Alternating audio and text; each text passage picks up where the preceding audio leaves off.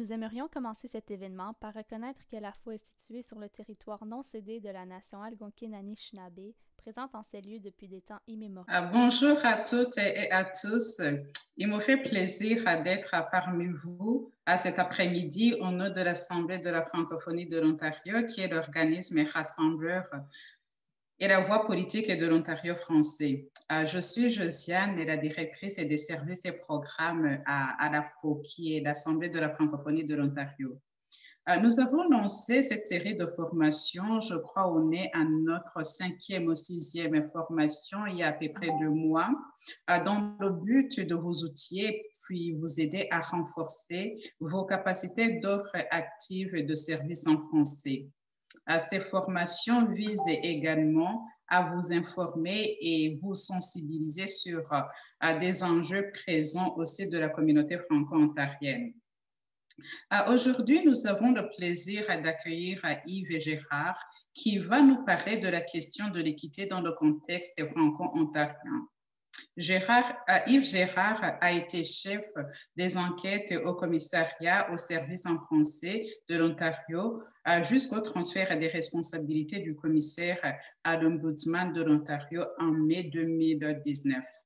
Par la suite, il a été gestionnaire de l'unité des services en français euh, de l'Ombudsman de l'Ontario jusqu'à sa nomination en tant que commissaire en équité et droit de la personne au Conseil des écoles publiques de l'Est et de l'Ontario en décembre 2020.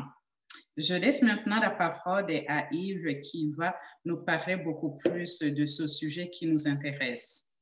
La parole est à vous, Yves Gérard. Merci. Merci beaucoup, Josiane. C'est euh, extrêmement gentil euh, comme introduction. Et j'aimerais en profiter euh, pour remercier justement l'AFO pour cette belle introduction, parce que sans le savoir, je ne sais pas si c'était fait exprès, mais il y a une belle référence culturelle à mes origines au tout début, puisque la première chanson qu'on a entendue est une chanson, et je peux en faire la publicité, bien sûr, de mon compatriote, le R, Christian Jorosu, qui est euh, tout béninois comme moi par ailleurs, et euh, raison pour laquelle je tiens absolument à le souligner, à vous dire à quel point voyez, les Béninois sont des gens extraordinaires. Bon, allez, euh, c'était la chauvinerie du jour, mais il fallait absolument le faire. bonjour à toutes et à tous, je suis vraiment heureux d'être parmi vous aujourd'hui pour parler un peu de francophonie ontarienne, d'équité. c'est un mot qu'on entend de plus en plus aujourd'hui et je crois qu'il est temps peut-être un peu de le démystifier, mais surtout de le placer dans le contexte euh, franco-ontarien.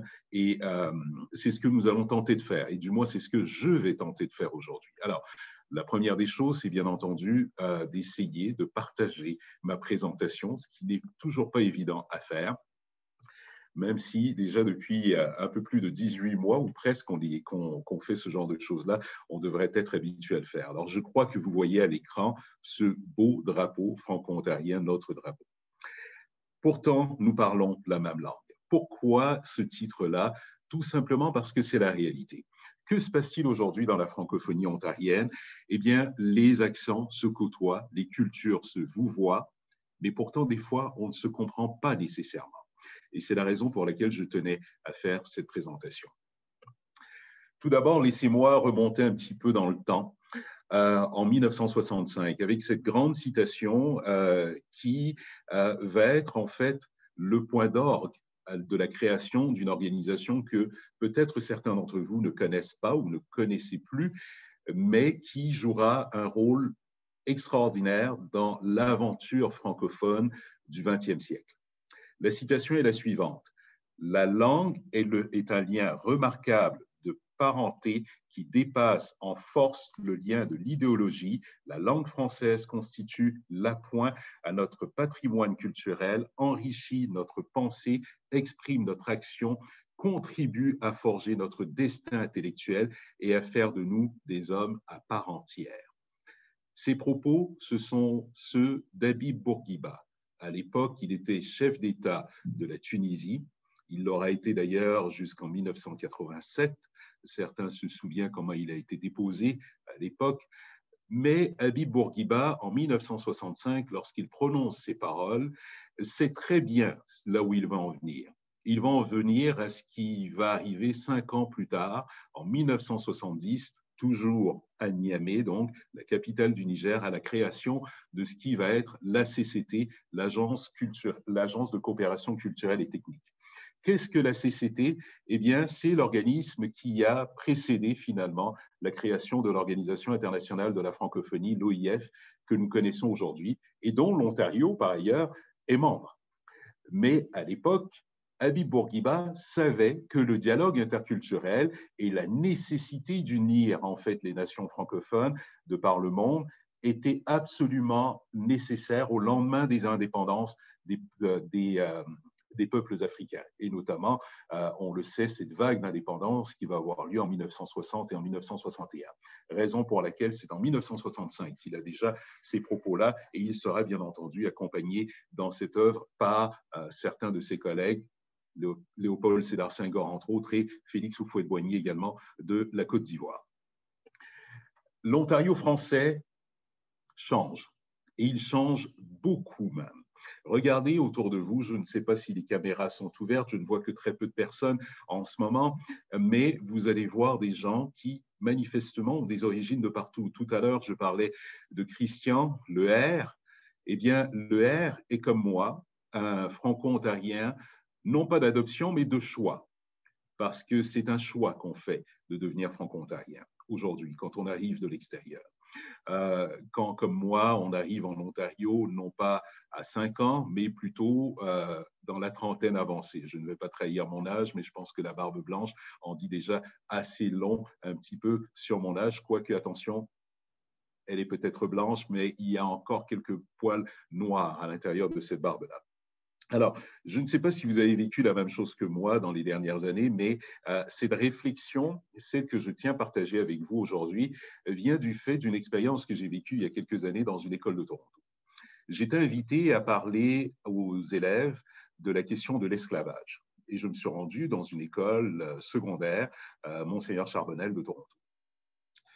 Et là, quelle ne fut pas ma surprise J'ai l'impression d'être devant l'Assemblée générale des Nations Unies il y avait des élèves qui venaient de partout, il y avait des accents de partout, ces accents qui euh, se côtoient, ces cultures qui se vouvoient. On a toutes sortes de choses désormais dans nos communautés francophones et notamment dans nos écoles. Et nos écoles, c'est quoi? C'est le reflet en fait de notre communauté et c'est aussi ce qu'elle va devenir dans le futur.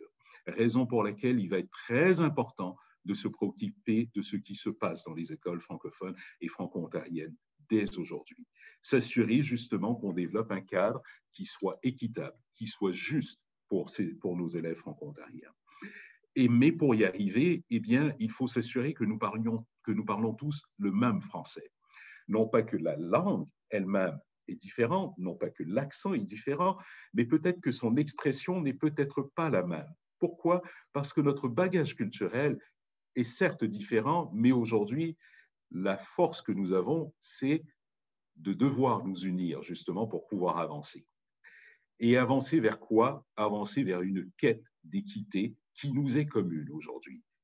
Quoique, euh, peu importe nos origines. Alors, que nous soyons d'origine haïtienne, que nous soyons d'origine mauricienne, que nous soyons franco-ontariens de souche, que nous soyons franco-canadiens originaires de la Saskatchewan, donc francescois, que nous soyons franco-manitobains vivant en Ontario, eh bien, nous avons tous un combat commun, c'est la recherche d'équité en tant que francophones vivant dans un milieu minoritaire. Mais là où le bas blesse, c'est que certes, cet euh, objectif commun existe, nous le connaissons tous, mais il existe désormais un petit problème. C'est que au sein même de notre communauté, il y a une recherche d'équité. Et c'est là qu'on va en venir aujourd'hui, dans cette conversation que nous allons avoir. Nous avons l'impression que tout a changé.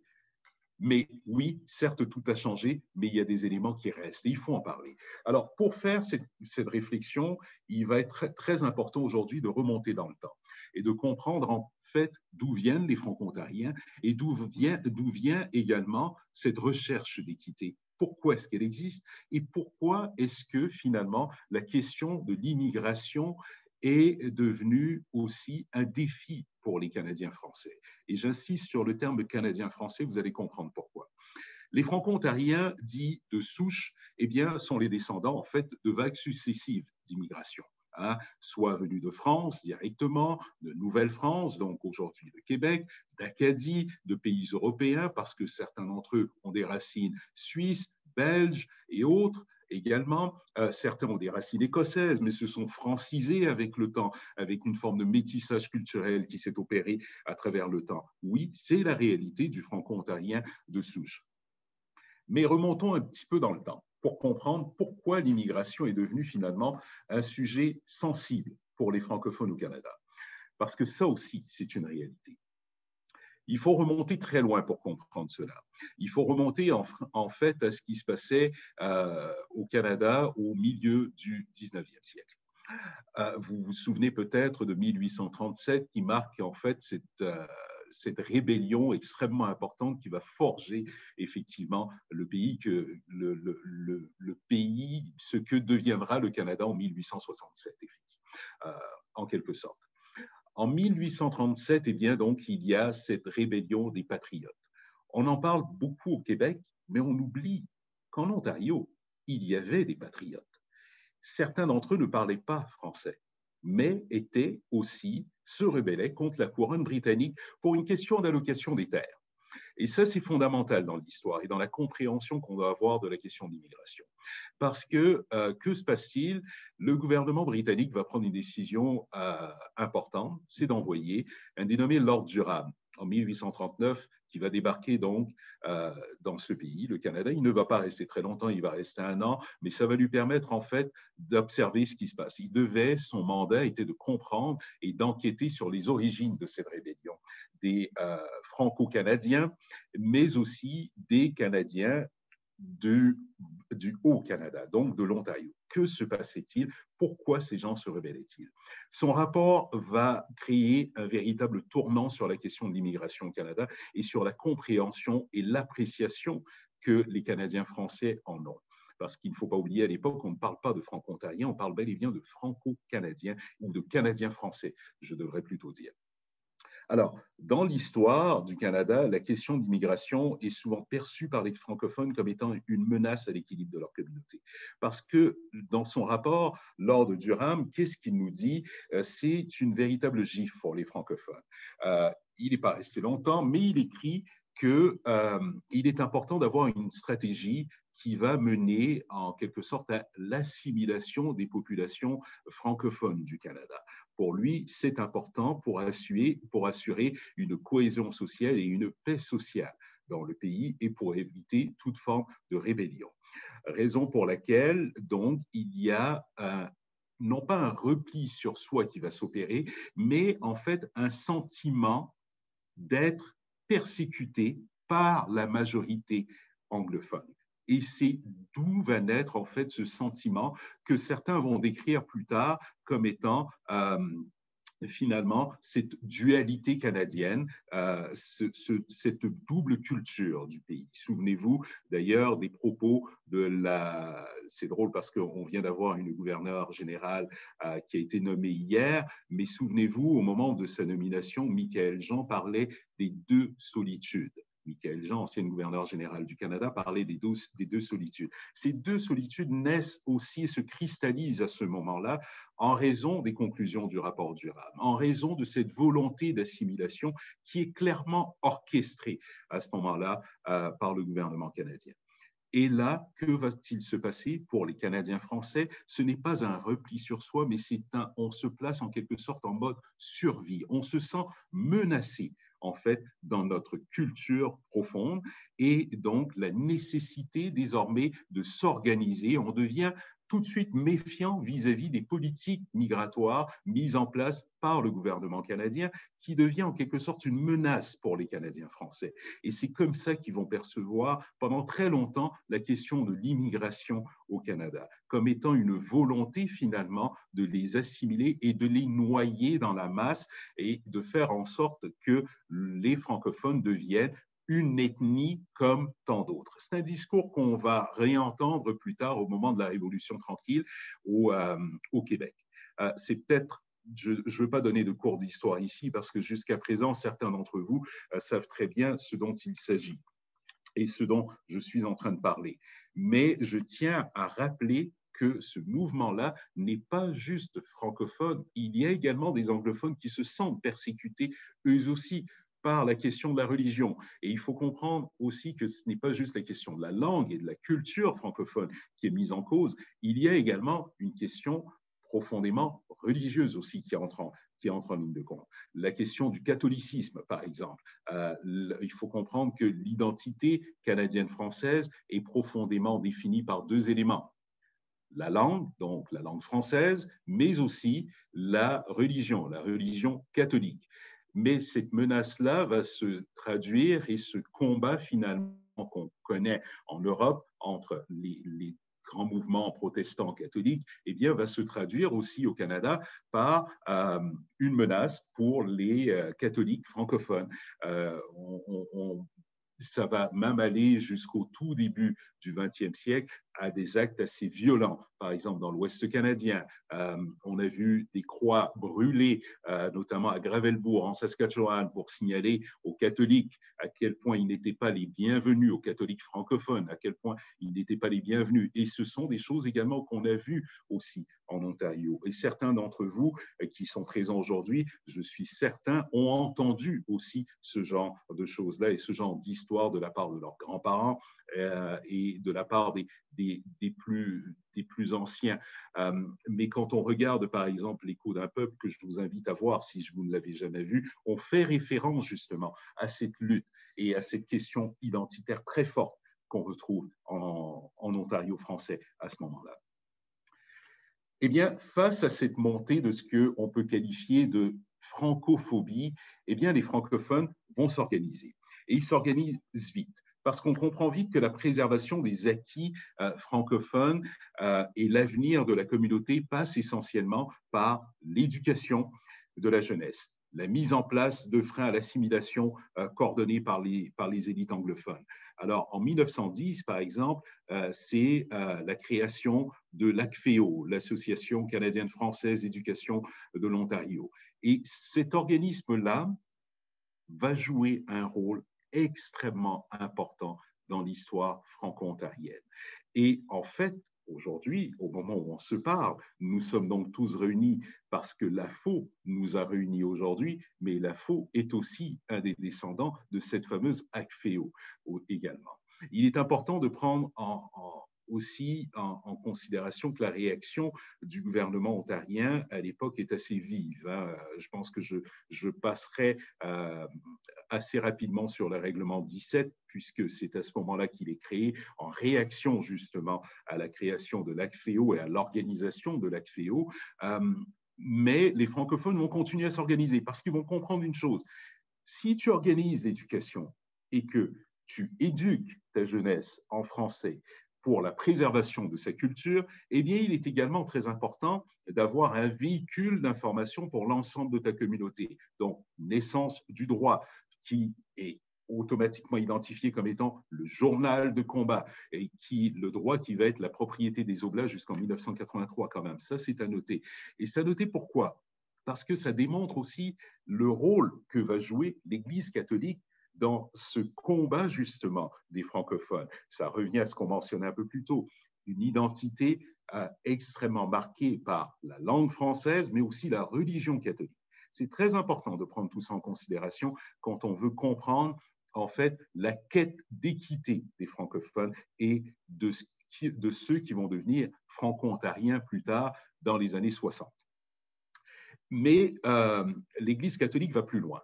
C'est qu'elle comprend qu'il est important, non pas juste d'avoir une presse, mais d'avoir ce qu'on appelle à l'époque aussi une bonne presse. Une presse donc qui euh, se base sur les fondements de l'identité canadienne-française. Donc, ces éléments comme la langue française, encore une fois, le catholicisme. C'est extrêmement important dans le, droit à l'époque. Euh, bien, tout ce qui est véhiculé dans le droit, les, les articles sont essentiellement basés sur la notion euh, de de l'identité culturelle très forte francophone et la notion catholique aussi. Parallèlement à ça, eh bien, il y a une entité qui va naître, qui, elle, euh, jouera un rôle crucial pour les euh, Canadiens français et pour les Franco-Ontariens en particulier. C'est la patente, l'ordre de Jacques Cartier. Alors, euh, c'est un ordre que l'on dit secret euh, à ce moment-là, même si euh, je pense certains franco-ontariens qui, sont certainement avec nous aujourd'hui vous diront qu'ils connaissent un grand-père qui, qui en était membre. Alors, qu'est-ce qu'on voulait faire avec l'ordre de Jacques Cartier? Eh bien, on tenait à infiltrer en fait les organismes pour s'assurer d'avoir une représentation francophone et d'influencer aussi les décisions politiques. Alors, il y a une compréhension que la survie des francophones passe essentiellement par quoi? Par une infiltration des institutions pour s'assurer de maintenir la culture francophone vivante en Ontario et au Canada français dans son ensemble, parce que l'ordre de Jacques Cartier n'est pas seulement présent en Ontario, il est aussi présent au Québec. D'ailleurs, c'est en raison d'un schisme entre le Québec et l'Ontario que l'ordre va disparaître officiellement. Et je dis bien entre guillemets officiellement. Les francophones vont plus loin dans leur combat. Ils comprennent également que, oui, certes, on a l'ACFEO, mais la question de la gestion scolaire est cruciale. Elle l'est encore aujourd'hui. Le combat des francophones n'est pas terminé. On le voit avec la création, par exemple, de l'Université de l'Ontario français récemment. On a vu aussi récemment ce qui se passe avec l'Université Laurentienne. La question du combat pour les institutions d'enseignement francophone reste crucial pour les francophones parce qu'ils comprennent que leur survie passe par là. Donc, il y a la question du financement des conseils scolaires et de la gestion des écoles par et pour les francophones qui va devenir un combat qui n'est toujours pas fini aujourd'hui au 21e siècle. Les francophones continuent de se battre pour la question de la gestion scolaire parce que l'éducation est la source et le maintien de la culture. C'est le seul véhicule qui va permettre aux francophones de maintenir cette culture vivante et, leur, euh, et assurer donc sa survie. Et donc les francophones, les Canadiens français de l'Ontario le savent et vont lutter bec et ongle pour atteindre cet objectif-là et continuent par ailleurs de le faire puisqu'on a vu récemment la création de l'UOF, on voit également le, ce qui s'est produit au mois euh, de novembre 2018 au moment de l'annonce par le gouvernement provincial de l'abandon de ce projet de l'UOF, à quel point les francophones se sont, euh, ont milité vivement et ont réagi vivement contre ces décisions du gouvernement provincial. Alors, ce n'est pas fini, cette question de la gestion scolaire, elle reste centrale dans la compréhension qu'ont les francophones en fait de leurs droits et de leurs acquis. Ce qui m'amène en fait à, euh, à, la question d'équité chez les francophones et notamment chez les euh, franco-ontariens. Parce que ce qui est important de comprendre à ce moment-là, c'est que euh, les francophones, dans cette quête justement, dans ce combat pour l'éducation, que cherchent-ils? Ils cherchent en fait une adaptation particulière pour leur réalité culturelle. Et ça, c'est une démarche d'équité qui est recherchée par les francophones. Donc, ce que les franco-ontariens d'aujourd'hui eh bien, ont hérité, c'est en fait d'un gène très puissant de recherche d'équité, en fait. Parce qu'ils ont compris que l'équité passe par quoi? Passe par euh, des institutions fortes mais qui garantissent finalement une protection à une minorité.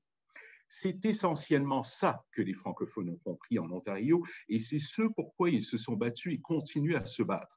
Alors, quand il est question d'équité aujourd'hui et quand on en parle, il est important de prendre en considération les réalités que peut-être les franco-ontariens eux-mêmes oublient souvent, c'est qu'ils sont experts en matière d'équité. Ils sont experts en matière justement de mise en place de mesures d'équité et de combat pour les maintenir, ces mesures d'équité-là. Parce que c'est ce qu'ils ont réussi à faire. Je vais vous donner un exemple très simple. Aujourd'hui en Ontario, une seule communauté bénéficie de mesures qui font en sorte qu'elle est protégée de manière quasi constitutionnelle. Ce sont les francophones Ce sont les seuls qui ont réussi à avoir une loi qui leur garantit, qui leur assure du moins de recevoir des services dans leur langue. Ce sont les francophones. Seuls les francophones ont réussi à faire ça en Ontario. Il faut tout de même le reconnaître, ça. Et ça, c'est un gain, c'est un gain qui est significatif et c'est aussi une démonstration très forte de leur réussite dans leur quête d'équité vis-à-vis des institutions. Certains vont dire, mais oui, mais c'est normal parce que c'est un peuple fondateur. Ah oui, certes, mais dans d'autres provinces, la réussite n'a pas été la même. En Ontario, il y a eu des avancées significatives et ce n'est pas terminé ce n'est pas terminé parce que l'Ontario est aussi le fer de lance au Canada francophone, en fait, de création d'institutions qui vont être très importantes par la suite. Et je pense notamment à la FCFA, par exemple, la FCFA du Canada. Et pourquoi est-ce que la FCFA aussi est née? Et là, je remontais encore un petit peu dans le temps euh, pour euh, revenir sur la création de cette organisation-là parce qu'il est important de prendre aussi en considération que la FCFA naît quoi? Euh, naît en 1969 au moment où on est partout dans le monde. Bon, je, passe un peu tout ce qui se passe à partir de 1960. Tout à l'heure, je parlais d'indépendance. Il y a de grands mouvements sociaux, un peu comme l'époque que nous vivons actuellement. Il y a de grands mouvements sociaux dans les années 60. Hein. Il y a les pays il y a les pays africains qui eux réussissent finalement à avoir leur indépendance eux aussi en quête d'équité, et je vais y revenir parce qu'il y a un lien à faire justement sur cette quête d'équité entre ces populations qui aujourd'hui se retrouvent réunies. Donc, quête d'équité à ce moment-là. Euh, il y a également euh, euh, des mouvements sociaux en Europe. Hein. L'on parle de mai 68, par exemple, en France. eh bien, que se passe-t-il au Canada à ce moment-là? Eh bien, il se passe au Canada quelque chose de très important, c'est que le Québec rentre dans sa révolution tranquille. Eh bien, qu'est-ce que ça va faire? C'est que les Canadiens français, graduellement, vont commencer à devenir québécois, franco-ontariens, franco-manitobains, françaisquois, franco-albertains. Jusque-là, on, était tous Canadiens français et on avait un rêve euh, qu'on ne, manifestait peut-être pas assez souvent, c'était celui d'avoir une grande nation canadienne-française eh bien, cette grande nation va se morceler rapidement à partir du moment où le Québec veut avoir, euh, se créer en quelque sorte et devient une province euh, à part entière telle qu'elle est connue aujourd'hui, mais surtout euh, cherche son autodétermination. À ce moment-là, il y a un schisme qui se crée avec les francophones du reste du, du Canada. Et oui, c'est là, à ce moment-là, qu'on commence à parler de francophones hors Québec et qui, eux, vont devenir franco-ontariens, etc. Mais ça, c'est extrêmement aussi, c'est très important de le prendre en considération lorsqu'on veut comprendre la quête d'équité. Parce que que se passe-t-il en Ontario à partir du moment où on devient franco-ontarien? Bien, on se retrouve à s'identifier beaucoup plus maintenant à l'Ontario plutôt qu'à cette grande nation canadienne-française dont on rêvait. Eh bien, on, donc, on veut, on, veut avoir, faire des gains auprès de notre gouvernement provincial. Et c'est de là que va venir le combat des Franco-Ontariens vis-à-vis du gouvernement provincial et va s'accentuer aussi. Il existait déjà au préalable parce qu'on avait déjà lutté contre le règlement 17. Mais à partir de ce moment-là, eh bien, ce combat-là va s'accentuer la quête d'équité des francophones de l'Ontario prend vraiment son envol à partir de ce moment-là. Il faut créer des institutions, il faut les organiser, il faut les maintenir et s'assurer que ces institutions-là restent pour se préserver. Et ça, ça va devenir crucial dans l'organisation des Franco-Ontariens. Mais là, il y a quelque chose de très important qui va arriver c'est qu'en 1970, à la suite de tous les mouvements sociaux qu'il y a un peu partout à travers le monde, les frontières commencent à s'ouvrir. Les grandes démocraties occidentales ont besoin d'immigrants.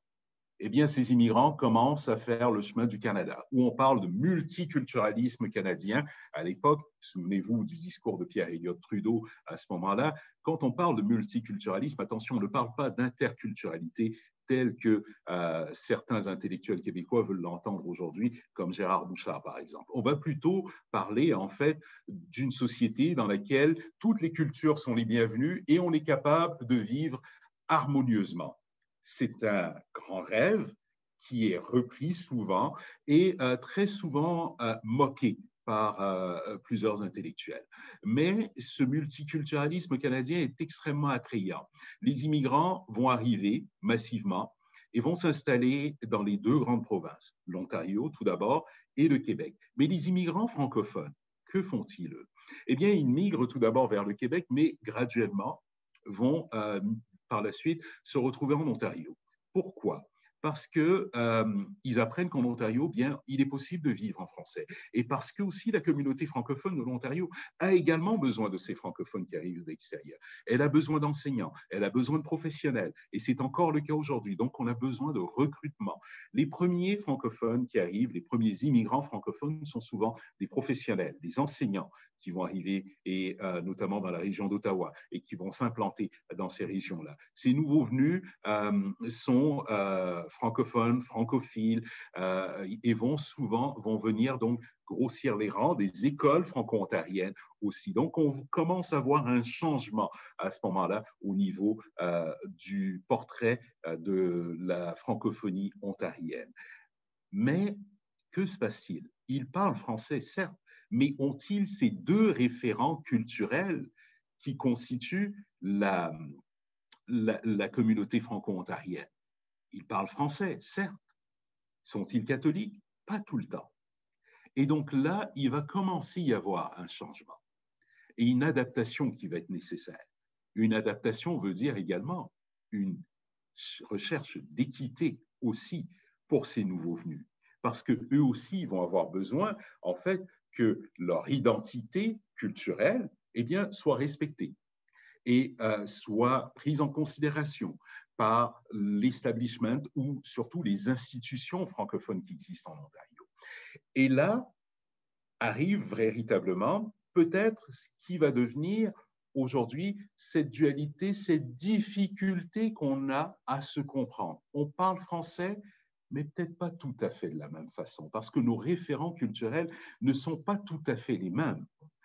Euh, comprenons-nous, on fait affaire à une communauté qui, depuis des dizaines d'années, pour ne pas dire plus d'un siècle, se bat pour exister se bat pour maintenir, pour créer maintenir ses institutions, se bat pour maintenir et garantir sa culture, son intégrité, et se bat face à la menace de l'assimilation constante et là arrivent des nouveaux venus qui viennent grossir ses rangs, mais qui, qui lui ressemblent certes par la même langue, mais ne lui ressemblent pas nécessairement.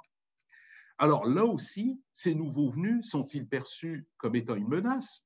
Pas nécessairement, mais ils sont perçus comme étant une intrigue en quelque sorte.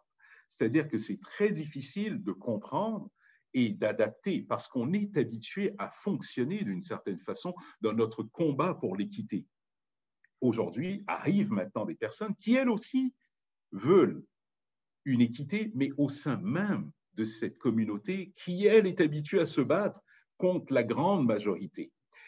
Et donc, il y a cette dualité qui va entrer, cet affrontement. Ce n'est pas un affrontement au point, euh, ce n'est pas un pugilat, on va s'entendre là-dessus, mais il va y avoir une incompréhension dans laquelle nous sommes encore aujourd'hui parce qu'il ne faut pas se leurrer, il faut dire les choses bien franchement. Nous sommes encore aujourd'hui, dans la communauté francophone de l'Ontario, dans un moment charnière de notre histoire où la communauté évolue, mais attention, ce n'est pas tout le monde qui est prêt à la voir évoluer de cette façon. Est-ce que ça va trop vite? Est-ce qu'on se comprend? Est-ce qu'on va tous dans la même direction? Ah oui, ça, c'est un c'est une grande question. Mais encore faut-il avoir le courage de la poser, cette question-là. Faut-il avoir le courage de répondre à ces questions-là? C'est là où on va en venir aujourd'hui. J'aimerais prendre quelques instants, si vous me permettez. Euh, je vois Zineb est apparu. Euh, je pense que c'est le moment, Zineb, qu'on prenne non pas une pause, mais qu'on puisse prendre quelques questions avant de poursuivre.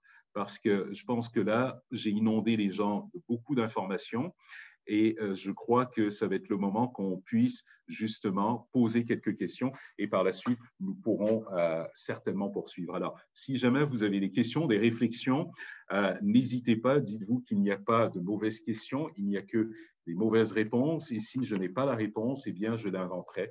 Alors, allez-y, n'hésitez pas à poser des questions. Peut-être que si je n'ai pas la réponse, une personne, euh, j'allais dire dans l'auditoire, ou euh, je ne sais même pas comment est-ce qu'on le dit en mode virtuel, en fait, euh, dans l'audience sera en mesure certainement de répondre à ces, questions-là. Alors, je vous invite, si jamais vous avez des questions, à, à ne pas hésiter. Sinon, je poursuivrai. Commentaires éventuellement? J'ai juste un commentaire sur le chat, Yves. Ça dit comme euh, vous nous comprenez bien, nous avons besoin de francophones comme vous. Merci. C'est un commentaire euh, qui a été écrit par Constance Pagé. Merci, Constance. Merci beaucoup, Madame Pagé. Et c'est une réalité, je pense, qui est importante euh, à souligner et à dire haut et fort qu'il est très important de comprendre la société d'accueil et de comprendre son combat dans l'histoire pour être en mesure justement de s'y adapter et de poursuivre le combat avec elle. Parce que comme on le mentionnait, cette question justement de survie des Franco-Ontariens n'est pas terminée. La question de l'assimilation est toujours aussi présente. Et il est important de le prendre en considération aujourd'hui. Les nouveaux arrivants ont un devoir, un devoir de compréhension de la société d'accueil c'est crucial dans l'avenir de la francophonie ontarienne. on ne peut pas. J'aimerais dire, je vais faire une. Euh, euh, comment dire Vous entrez chez quelqu'un. Vous entrez dans la maison de quelqu'un. Bien, vous ne dictez pas les lois. Vous entrez chez la personne et vous lui demandez de vous dire où est la cuisine, où est la salle de bain, où est la télévision, comment fonctionne la télévision, euh, etc. Les règles de la maison, vous devez les apprendre, mais par la suite, on s'adaptera essentiellement. Et par la suite, on sera en mesure de vivre euh, en commun et d'avoir un vivre ensemble harmonieux. D'où cette notion extrêmement importante de comprendre ce qui s'est fait jusqu'à présent pour être en mesure de déterminer ensemble ce qu'il va se faire dans le futur. Parce qu'aujourd'hui, je donne un exemple. Je suis père de deux garçons. Et chaque fois et à chaque présentation, je reviens toujours à parler de mes fils. Pourquoi? Parce que c'est certainement la chose la plus importante pour moi, mais parce que mes garçons sont nés à Toronto. Mes fils, aujourd'hui, âgés de 5 et 8 ans, sont-ils franco-ontariens? Silence personne n'ose répondre à cette question. La réponse, moi, je vous la donne. C'est oui. Et je n'ai pas besoin de DIF pour me le dire. J'ai juste besoin de l'appropriation, de leur dire à eux, à un moment donné, tu fais le choix de ta culture, tu fais le choix de ta communauté, tu fais le choix de ton appartenance. Elle t'appartient et c'est ton choix il est très important de le prendre en considération, ça. Il est très important aussi pour le nouvel arrivant de comprendre qu'il doit s'approprier ce terme de franco-ontarien. Il est le sien. Moi, ça fait 11 ans que je suis en Ontario. Je suis franco-ontarien. S'il y a quelqu'un qui vient me dire le contraire, eh bien, j'aimerais bien qu'on ait une conversation ensemble. Je suis tout aussi béninois parce que mes parents sont béninois, mais je suis fier de dire que je suis franco-ontarien, parce que j'ai décidé de m'approprier cette culture. Et j'ai décidé de la comprendre pour être en mesure justement de bâtir un avenir pour mes enfants, mais aussi bien euh, ceux, les, les, enfants de Constance, les enfants de Camille, les enfants de Zineb, peu importe, parce que c'est nécessaire pour notre cohésion sociale en tant que communauté. Et c'est là que ça devient extrêmement important d'avoir ce, cette volonté du vivre ensemble. c'est d'avoir la volonté du vivre ensemble et ne pas se mettre en marge de la, de la communauté. La recherche d'équité doit se faire de manière collective parce que c'est un combat que nous avons à mener tous ensemble en tant que francophones vivant en Ontario. S'il n'y a pas d'autres questions ou d'autres commentaires, permettez-moi de continuer. Nous avons comme élément commun, certes, la langue. Mais la langue, comme le disait justement Abi Bourguiba, est aussi un véhicule de, de culture. Mais il est important de prendre aussi en considération maintenant les différences que nous avons vis-à-vis de la langue. Je l'ai mentionné, je suis d'origine béninoise, mais je suis aussi français parce que je suis né là-bas. Mais je suis aussi québécois parce que j'y ai grandi. Mais je suis aussi franco-ontarien parce que j'ai choisi d'y vivre. Ça, moi, c'est ma réalité. Mais ma relation avec la langue française, elle est certainement différente de chacun d'entre vous en raison du bagage culturel que nous avons. Et ça, c'est là qu'il va y avoir euh, une disparité, une différence entre les francophones, nouveaux arrivants et communautés d'accueil. Pour les franco-ontariens, la question de la langue française est fondamentale parce qu'elle garantit ultimement la culture.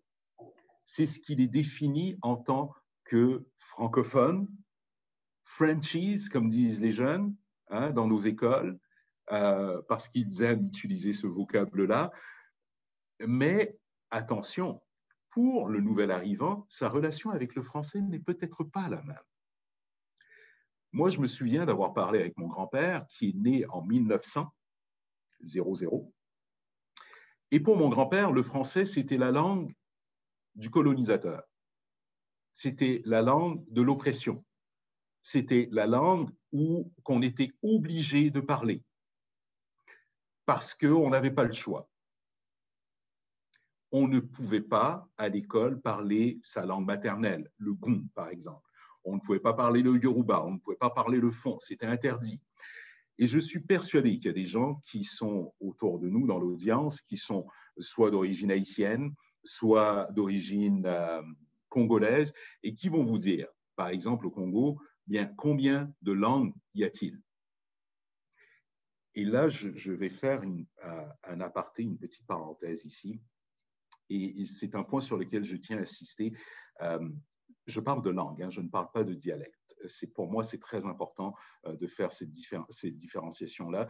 Euh, des fois, il arrive que je rencontre des gens qui me disent Ah, mais oui, tu es d'origine africaine, il y a combien de. Quel, dialecte parles-tu? Je ne parle pas de dialecte, je parle une langue.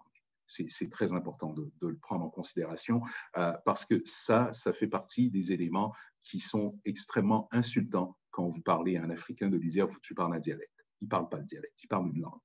Euh, attention, c'est très important de prendre ça en considération parce que c'est très insultant quand on minimise en fait la culture de quelqu'un et transformer sa langue en dialecte. J'ai déjà entendu quelqu'un me dire que le créole est un dialecte. Le créole n'est pas un dialecte, le créole est une langue à part entière avec sa grammaire et son vocabulaire qui lui est propre. Euh, là aussi, ça fait partie des éléments auxquels il faut faire attention quand on s'adresse à quelqu'un qui vient d'une autre culture.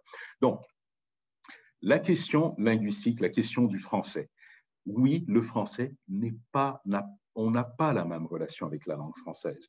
On a vu ce qui s'est passé au Rwanda. Le Rwanda, par exemple, récemment, on a changé de langue officielle. L'anglais est devenu langue officielle. Oui, parce que dans certains pays, la langue française est vue comme étant le véhicule qui a permis aux colons de s'installer et de modifier la culture et d'acculturer les populations. Raison pour laquelle, eh bien, certains immigrants n'ont pas cette relation et cette appropriation de la langue française. Ils le voient plutôt comme étant un véhicule finalement du colonisateur, un véhicule qui a permis finalement à la France d'asseoir sa domination sur leur, euh, sur leur pays et sur leur culture. Donc, mais aujourd'hui, quand on arrive ici, le français devient notre véhicule et surtout notre euh, point commun pour les nouveaux arrivants et pour la société d'accueil en termes d'inclusion, en termes finalement de lien culturel qui va nous permettre d'atteindre nos objectifs communs.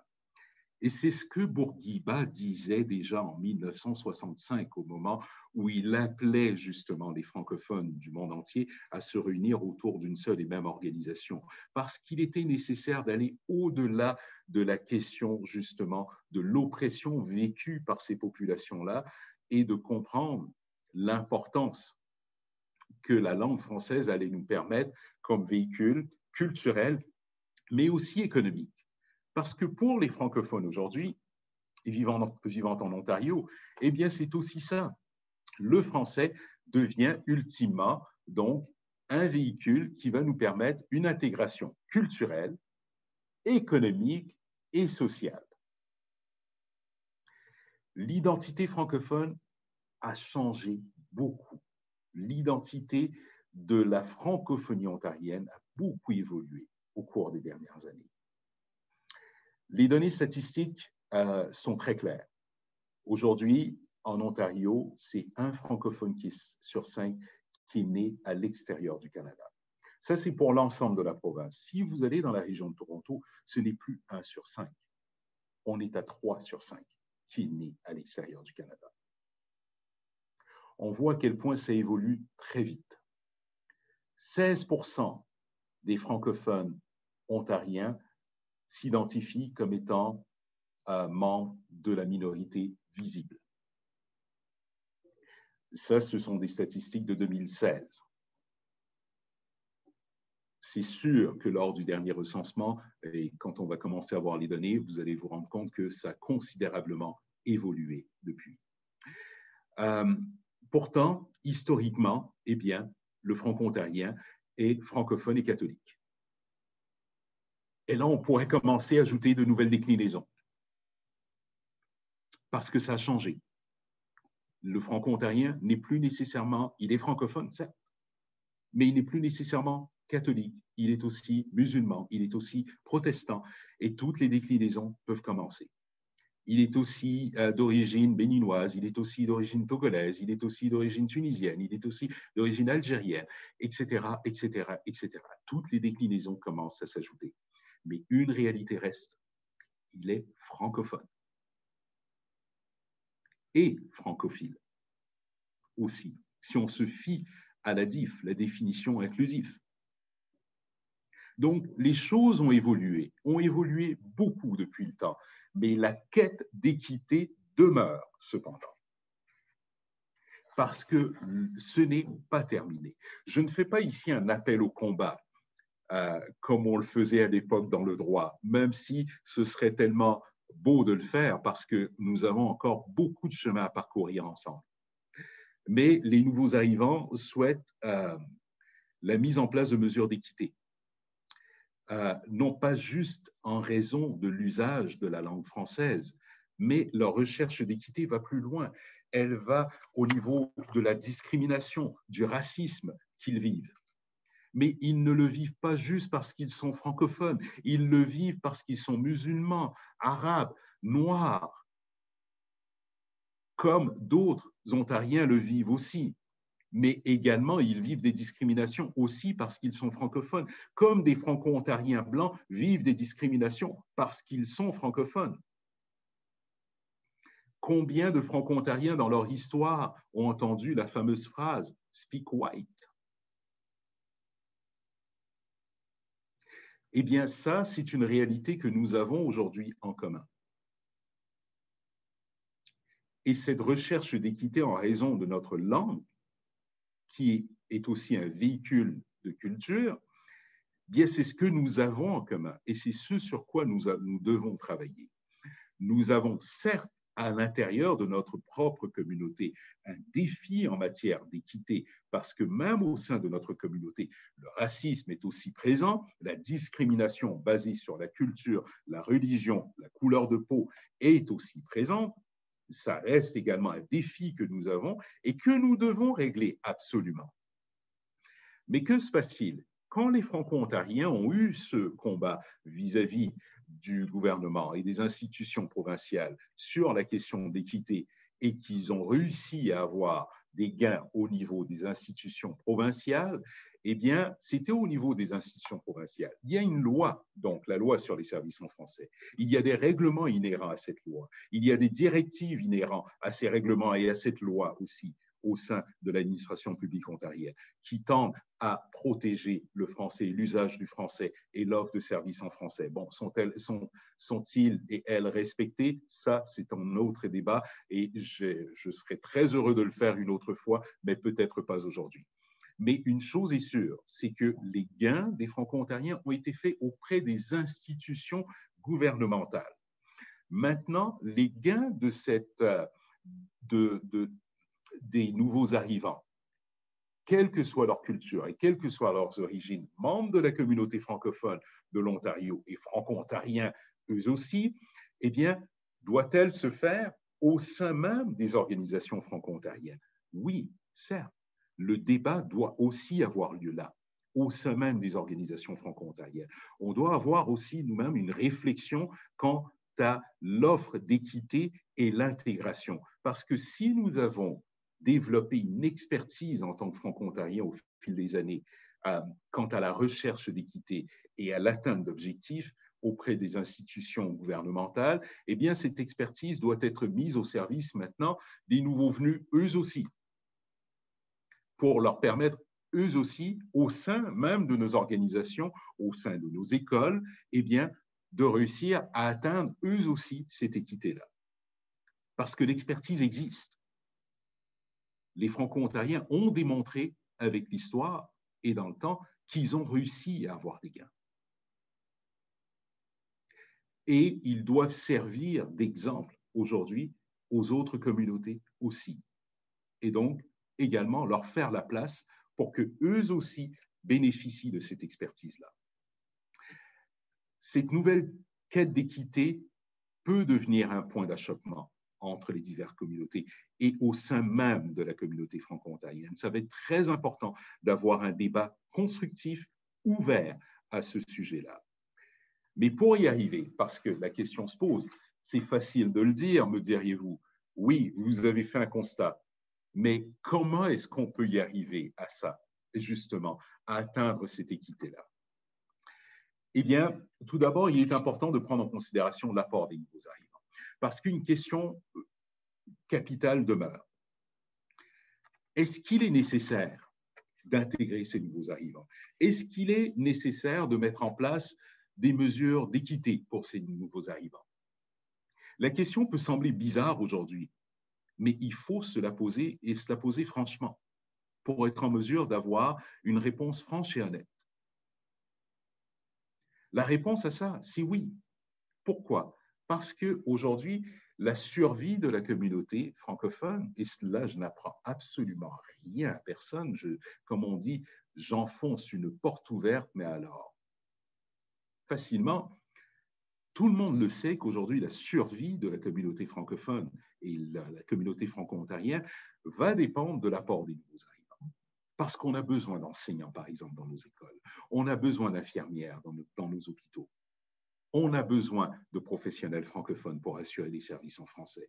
On a besoin de fonctionnaires francophones pour assurer des services en français en Ontario. Et la communauté francophone ne suffit pas actuellement. On a besoin de gens qui viennent de l'extérieur. On a besoin de personnes qui euh, vont avoir un apport démographique important, un apport économique, un apport culturel également. Euh, le, métissage culturel au niveau musical. Tout à l'heure, je, reviens encore sur le R, je pense à Yao, je pense à même Cindy Douard qu'on a entendu, et même mon ami Damien Robitaille. On le voit, l'influence finalement vient aussi d'ailleurs et forge également la nouvelle identité de la communauté. Ça renforce les institutions francophones de la communauté. Regardez autour de vous. Regardez l'AFO aujourd'hui, considérablement évolué en raison de l'apport justement de gens qui viennent de l'extérieur. Ils permettent, ces nouveaux arrivants permettent à la, communauté d'assurer sa pérennité, pas juste au niveau culturel, mais au niveau économique aussi et surtout. Et ça, c'est important de prendre en considération. Donc, à partir de là, que doit-on faire? Eh bien, la FO a mis en place sa vision 2025 sa vision 2025 parce qu'on en est bien conscient. La vision 2025 de la FO Qu'est-ce que c'est? C'est d'augmenter le nombre et la proportion justement euh, d'immigrants, d'améliorer les capacités des infrastructures notamment, euh, de faciliter l'intégration économique et culturelle des nouveaux arrivants, de développer des stratégies régionales ciblées.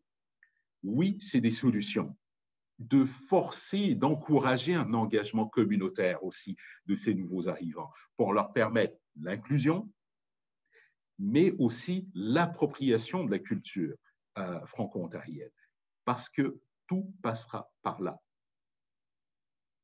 Tout passera par le fait que le, le nouvel arrivant se sent lui-même franco-ontarien et s'approprie finalement cette culture franco-ontarienne. Parce que combien de personnes à qui je parle sont en Ontario depuis plus longtemps que moi, et si je leur pose la question, es-tu franco-ontarien? Non, non, non, non, moi je ne suis pas franco-ontarien. Ah oui, et pourquoi?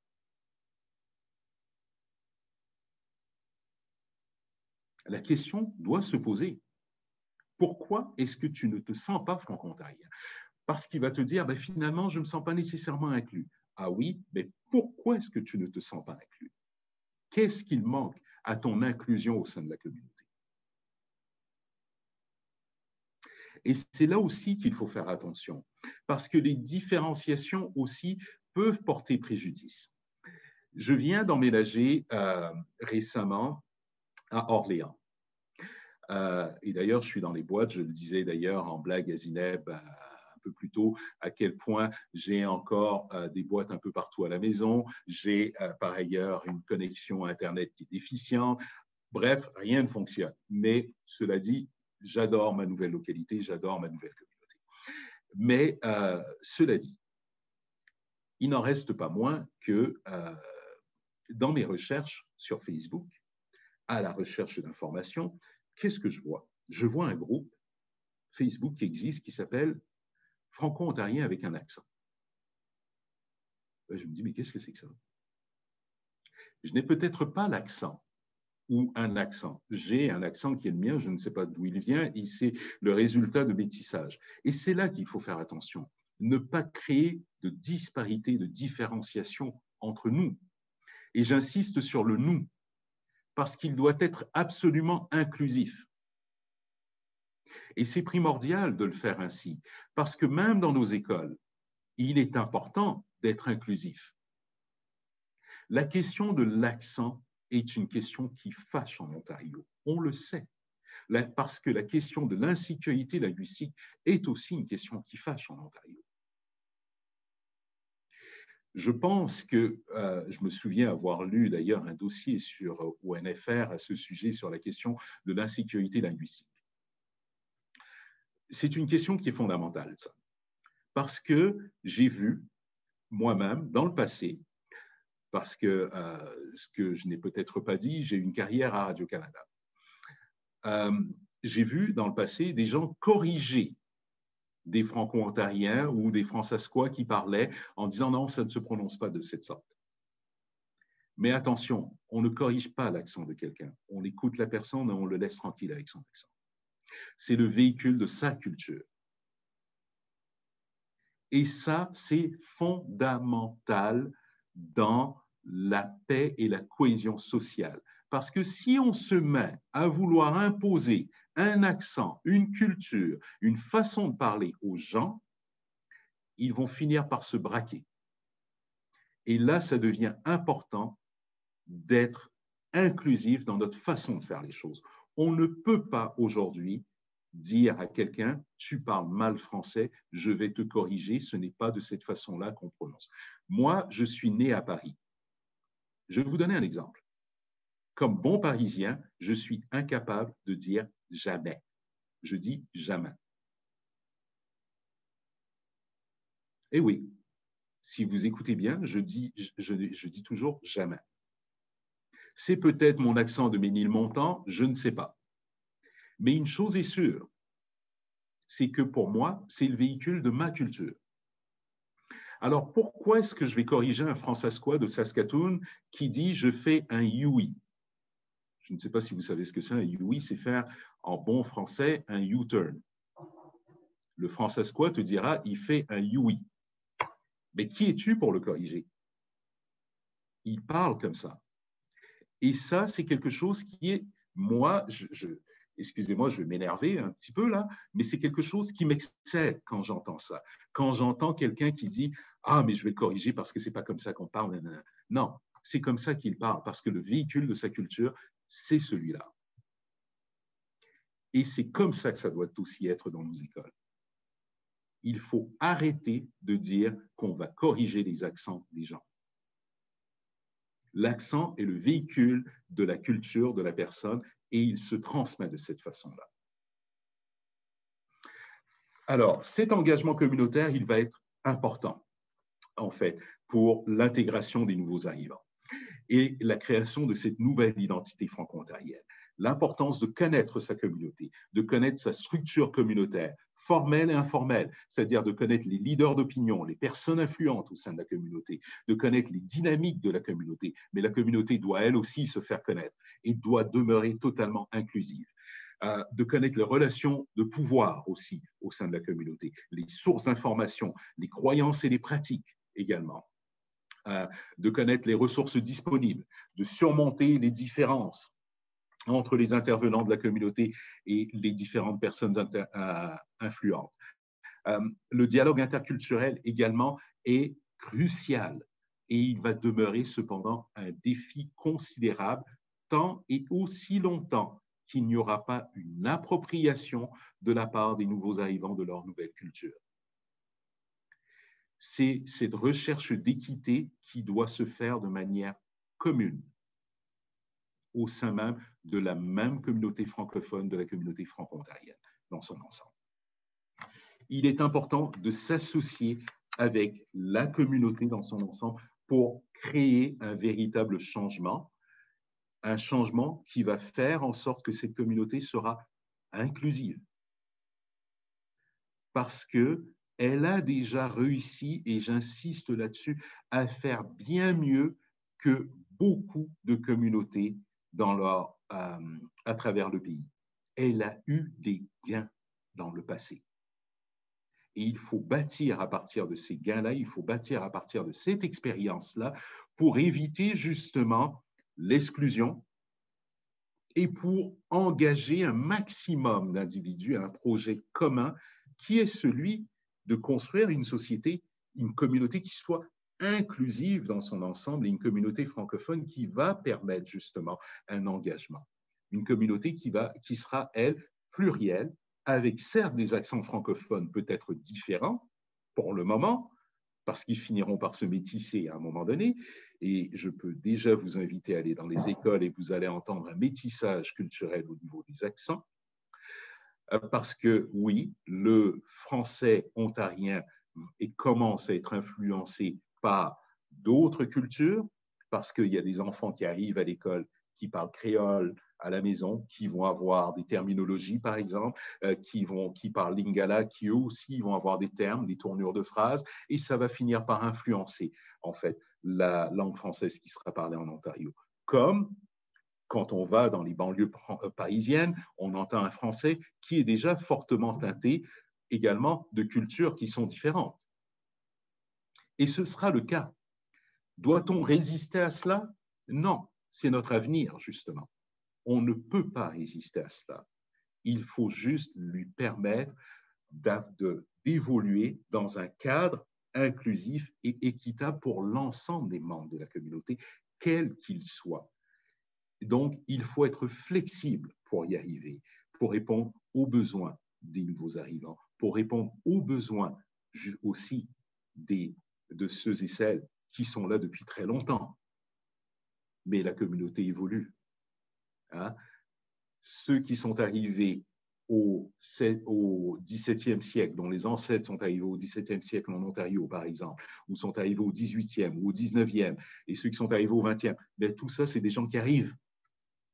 On arrive tous à un moment donné.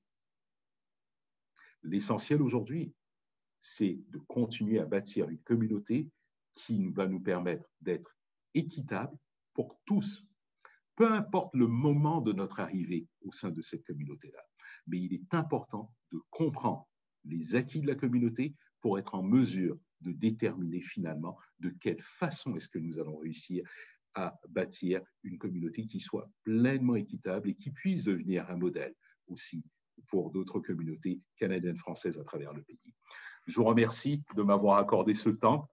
Je sais que c'est très précieux pour vous, surtout un après-midi pluvieux à Ottawa, mais je vous remercie d'avoir pris quelques minutes justement pour m'écouter euh, aujourd'hui. Alors, euh, je pense, Zineb, qu'on est à peu près prêt à prendre des questions, des commentaires, des réflexions, des gifles, peut-être, euh, sait-on jamais. Alors, euh, allons-y. Merci. Super, merci Yves Gérard. C'était vraiment très, très intéressant. Euh, je voudrais juste rappeler à tout le monde que vous pouvez lever votre main pour parler directement à Yves Gérard, poser vos questions ou sinon continuer à mettre vos questions sur le chat. Alors, je vais commencer par Audrey qui voudrait peut-être intervenir. Merci Zineb. Euh, merci Yves Gérard, c'est euh, très enrichissant, puis en même temps très bousculant. Donc je trouve que ça fait du bien parce qu'on n'a pas forcément l'occasion de, de, se poser ce genre de questions ou d'ouvrir le débat. une question que j'ai posée un peu plus tôt dans le chat, et puis quand vous parlez de qu'il faut s'adapter à la, à la société d'accueil, moi en tant qu'immigrante aussi, euh, et très vite en arrivant pour avoir travaillé sur euh, l'histoire des francophones du nord-ouest de l'Ontario, du côté de Thunder Bay, sur une exposition et un livre euh, qui est sorti au moment des, 400 ans de présence française en Ontario. Je me pose la question de la société d'accueil elle-même qui n'est pas forcément au courant de sa propre histoire. les immigrants font toujours et souvent beaucoup d'efforts, ils ont tellement de choses à assimiler et à intégrer en arrivant que on leur donne une charge en plus et qu'en face, la, société d'accueil euh, n'est pas forcément sensibilisée à sa propre histoire. L'immigrant euh, finit par en savoir plus, à rejoindre des combats que le francophone d'origine, j'aime pas trop euh, le, le franco-ontarien d'origine de souche, je trouve que c'est trop ancré dans le sol et que justement il faudrait pouvoir déraciner un peu la souche pour, le, pour aller lui faire voir euh, autre chose, lui faire respirer un peu d'autre air. Donc le franco-ontarien d'origine, euh, c'est ça, n'est pas forcément au courant de son histoire. Et puis une question que j'ai posée un peu plus tard, euh, est-ce qu'on ne voit pas aussi dans le, portrait qui change de la francophonie ontarienne des francophones d'origine, donc encore une fois avec la distinction des, des immigrants, qui sont davantage assimilés aussi? Et du coup, on dit souvent que l'avenir de la francophonie repose sur les pays d'Afrique, donc sur l'Afrique elle-même, parce que c'est là où il y a le plus de, locuteurs francophones, mais c'est aussi euh, grâce à l'immigration des, gens des pays africains qu'on va pouvoir peut-être faire survivre la francophonie au Canada. Euh, donc beaucoup de poids pour les immigrants finalement sur leurs épaules. Et pas toujours facile de, de s'y retrouver et de sensibiliser cette société d'accueil elle-même pour qu'elle se regarde d'abord aussi le nombril avant d'avoir peur de ces immigrants qui viennent d'ailleurs. Audrey, je, vous remercie euh, pour ce commentaire euh, que je trouve très intéressant et vous, mettez le doigt sur un élément, je pense, qui est euh, central, pas juste en Ontario français, mais au Canada dans son ensemble. et qui, est central et qui est, est, toujours très intrigant sur la notion de citoyenneté. Et je m'explique certains d'entre nous ont peut-être fait cet exercice justement de devenir citoyen canadien à un moment donné. Donc, on a prêté serment à la reine, on a fait euh, ce, euh, ce, fameux examen, euh, etc. que j'ai toujours trouvé très intéressant parce que je, l'ai fait moi aussi ce parcours-là, bien sûr. Mais malheureusement, ce ne sont pas tous les Canadiens qui le font ce parcours. Donc, cette notion d'appropriation de la citoyenneté, n'est pas euh, nécessairement faite par tout le monde. C'est-à-dire qu'on a un peu un sentiment, euh, et je comprends ce que vous dites, de c'est, voilà, on est né canadien, on est né franco-ontarien, et puis voilà. On n'a pas d'effort à faire nécessairement pour le préserver. On, on l'est, et on n'a plus d'efforts à faire pour le préserver. Et vous avez raison quand vous dites, et vous avez totalement raison quand vous dites qu'il y a beaucoup de personnes dites de souche qui ne semblent pas nécessairement être au courant non seulement de leur histoire, mais des risques inhérents même à leur propre existence. C'est-à-dire, quand je parle de risque inhérent à leur existence, c'est-à-dire de risque inhérent à la pérennité de leur culture de base. C'est-à-dire, du moment où vous l'avez dès la naissance, vous ne vous battez pas pour. L'immigrant a toujours cette avance qui est qu'il fait le choix du déracinement et le choix de l'appropriation de sa nouvelle culture, de sa nouvelle communauté, de son nouveau pays. Donc, il y a une volonté. Il est toujours plein de bonne volonté quand il arrive. Peut-être pas tous, mais il est plein de bonne volonté. Il veut apprendre, il veut s'approprier sa culture, c'est beau, c'est ci, c'est ça. Et puis, des fois, ben, il va déchanter au bout d'un moment quand il se rend compte qu'autour de lui, ce n'est pas tout le monde qui a le même enthousiasme nécessairement vers cette nouvelle culture. Bien, ça, c'est la réalité de l'immigration, quelle qu'elle soit. Euh, parce que euh, l'immigrant est souvent plus citoyen et actif que le citoyen qui est né sur place. Euh, c'est une réalité qui n'est pas juste inhérente au Canada, mais qu'on va retrouver aussi ailleurs.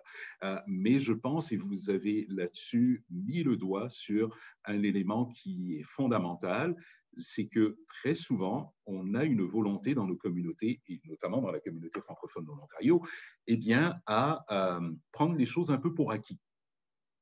Alors qu'il faut travailler un peu plus hein, pour euh, se battre je vais, vous dire, euh, je vous donner un exemple. Je ne devrais peut-être pas le faire, mais je vais quand même le faire.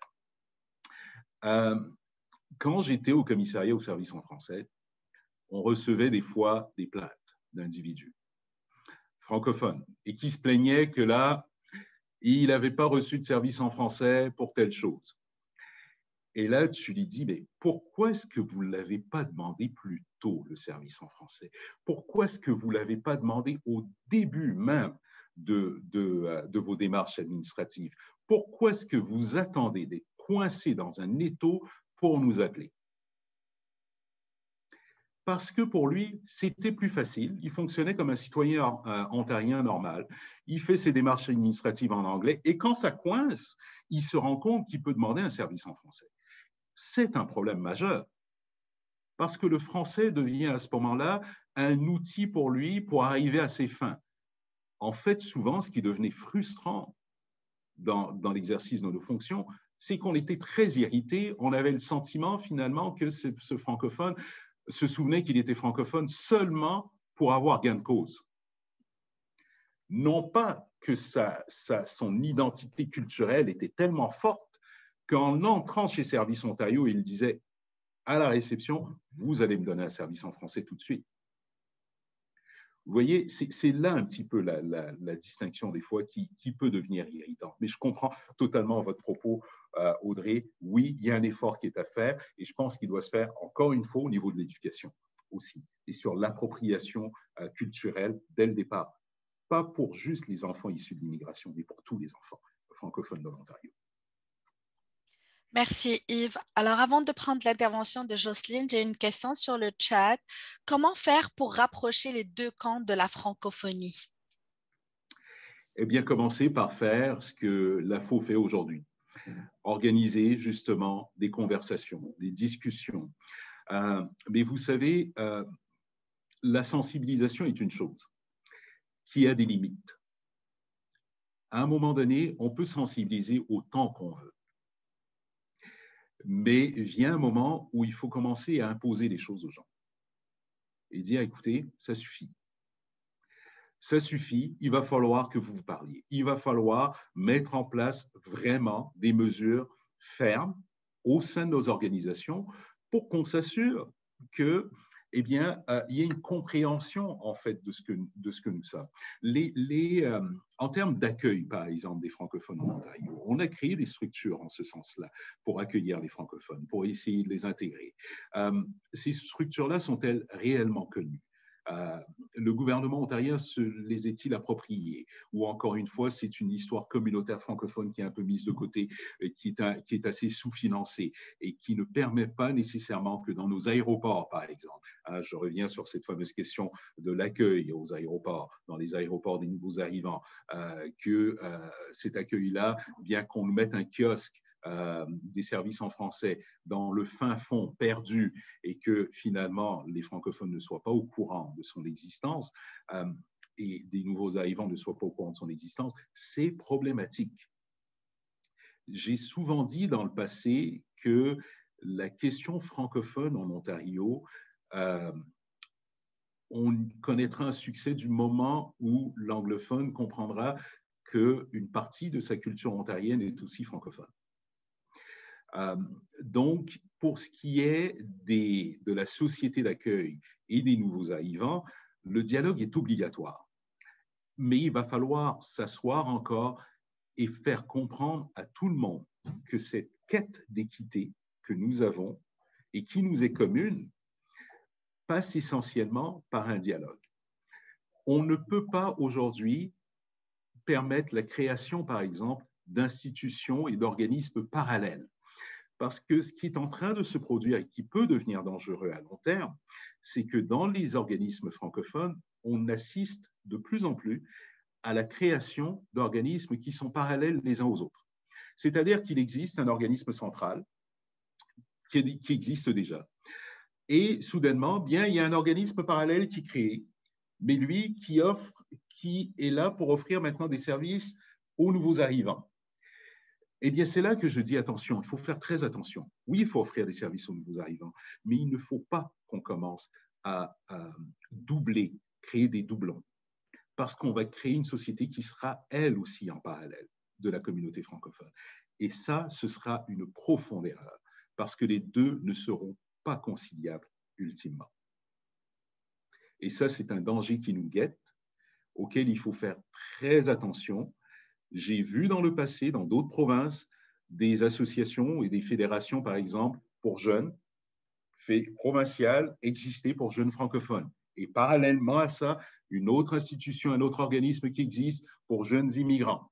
Non, à ça, je, le dis non et non et non. C'est pas possible ça. On ne peut pas travailler en vase clos.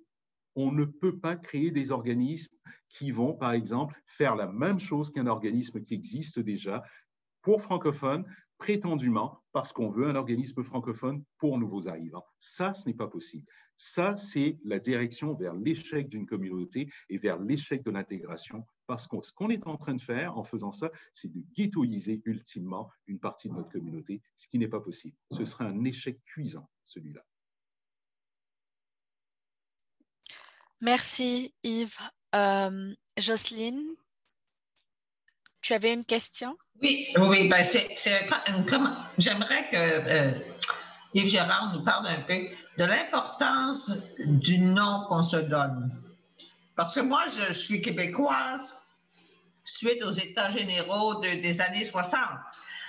nous étions tous Canadiens français. Quand j'étais jeune, on était Canadiens français. Les Québécois ont décidé, après les États généraux, de devenir Québécois et ça a été la montée de euh, l'indépendantisme. Alors, le reste du Canada a réagi comme étant, euh, bon, ben là, on est, on est franco-ontarien. C'est un, un, terme qui a presque été étiré par euh, opposition. Et maintenant, vous avez euh, des nouveaux arrivants qui sont pas franco-ontariens encore, ils sont plutôt euh, franco-africains. Mm-hmm. et, et, comme tu dis, le, le, morcellement. Et il y a eu aussi l'impact euh, que Trudeau, Pierre Elliott, a eu quand, plutôt que choisir le bilinguisme pour le Canada, il a choisi le multiculturalisme. Les Québécois détestent Trudeau. Y, a, il y a tout ça là, pour un, nouveau, euh, un nouvel arrivant. C'est pas évident. Et en ce moment, il y a des moments, il y a des. Euh, j'ai l'impression qu'il y a une volonté de recréer euh, toute la francophonie c'est plus la francophonie hors Québec. C'est vraiment, euh, je ne sais pas si tu pourrais en parler parce que moi, je le, vois, je le vis comme ancienne québécoise, que là, ça fait 49 ans que je suis en Ontario. Ça fait que j'ai choisi l'Ontario. Je suis franco-ontarienne. Mais comment tu vois ça? Comment toi, tu le vis venant du Bénin, justement? Et en passant, ta présentation est excellente ça, me fait vraiment réfléchir. Je vais sortir mes livres d'histoire, on s'en reparlera. Ben, Jocelyne, tu m'appelles quand tu veux. Merci. On est en train d'essayer euh, de, déterminer notre identité et, il y a toute l'importance du, du mot, de la nomenclature, de la langue qui traduit les mouvements culturels en dessous. Là. Oui, totalement. Et je trouve ça très intéressant que tu amènes cet élément-là, Jocelyne, euh, parce que, euh, d'ailleurs, pour ceux et celles qui nous écoutent, hein, pour le besoin de la cause, je tutoie Jocelyne parce que c'est un peu ma grande sœur, euh, si je peux parler de la sorte. D'ailleurs, ma grande sœur s'appelle Jocelyne, ma vraie grande sœur, mais ma grande sœur ici, Jocelyne Sanson aussi. Alors, je, viens, je vais revenir sur cet élément-là parce que Jocelyne May, elle parle des États généraux qui, effectivement, euh, c'est fondamental dans la création, en fait, euh, de, l'identité franco-ontarienne. Euh, c'est crucial, ces États généraux. Il y en a eu trois, trois sessions, en fait, et Jocelyne le dit bien, ça a été, en fait, les sessions de la division. Euh, c'est un peu comme ça qu'on peut, euh, expliquer les États généraux euh, du Canada français. Qu'est-ce que ça a donné, ces États généraux? Il faut comprendre, au moment où les États généraux ont lieu, on est au début des années 60, à ce moment-là, il y a véritablement ce mouvement au Québec où on veut, en quelque sorte, le Québec est en phase d'autodétermination et c'est crucial pour le Québec. Et on doit comprendre la question québécoise par rapport à ça. Et il faut euh, le mettre dans le contexte pour comprendre aussi pourquoi est-ce que les Canadiens français du, sont devenus du, du, du, euh, du Bas-Canada deviennent les Québécois à ce moment-là, et les autres, effectivement, deviennent franco-ontariens, franco franco-manitobains, un peu par la force des choses, parce qu'il y avait, je le mentionnais tout à l'heure, un rêve d'une grande nation canadienne-française avec une identité culturelle commune. Mais les choses ont changé à partir de ce moment-là, du moment où le Québec devient le Québec et euh, va vers cette lutte vers l'indépendance. Ça change considérablement les choses pour les Canadiens français du reste du, du reste du pays. Ça va créer la nécessité d'avoir une identité. Euh, un peu forcée par, la force, par, euh, par le fait même et qui demeure aujourd'hui un peu curieuse parce que le franco-ontarien, par définition, se sent au départ canadien-français. Son identité canadienne-française est restée profondément ancrée chez lui. Donc, le terme franco-ontarien est un terme qui est venu par la force des choses. Et, ça, c'est important de le prendre en considération. Donc, aujourd'hui, quand on dit un franco-ontarien, on parle vraiment d'un Canadien français de l'Ontario euh, au départ. Mais l'identité franco-ontarienne est quand même née depuis. Mais il est important qu'aujourd'hui, les nouveaux arrivants s'approprient eux aussi ce terme-là, parce qu'il est nécessaire de la créer, cette identité-là et surtout de la bonifier aussi, cette identité-là. Le Québec a bonifié son identité, mais le Québec, justement, la question du multiculturalisme à laquelle faisait référence et le multiculturalisme de Pierre-Éliott Trudeau, euh, auquel fait référence Jocelyne Sanson, euh, c'est important de le mettre aussi dans son contexte québécois.